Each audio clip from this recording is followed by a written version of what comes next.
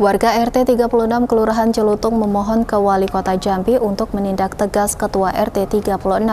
Warga merasa dirugikan dari kebijakan dan kinerja Ketua RT yang tidak memperhatikan warganya.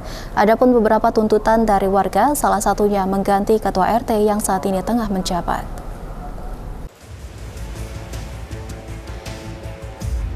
Sebelumnya, warga mendatangi kantor Wali Kota Jambi menghadap dan bertemu Wakil Wali Kota Jambi Maulana serta sudah disampaikan permohonan persoalan lingkungan dan Ketua RT agar ada kepastian dan realisasinya.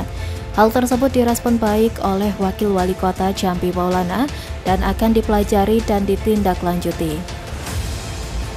Rabu 22 Maret 2023, 30 KK di RT 36 Kelurahan Celutung, Kecamatan Celutung, Kota Jambi telah menandatangani surat permohonan pergantian Ketua RT.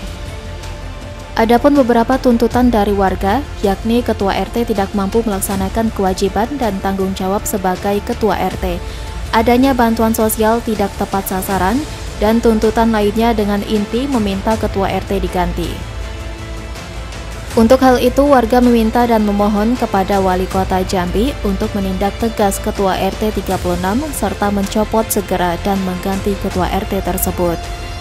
Karena kami mohon untuk Pak Pasya, ya, untuk Pak Pasya, ya. kami mohon bantuannya Pak Pasya, ya, karena kayaknya tidak ada apa suara kami ini tidak pernah didengar. didengar. Kami mohon bantuannya kepada Bapak Pasya, Pasya selaku wali kota, bantu kami warga kecil ini Pak, mohon Pak.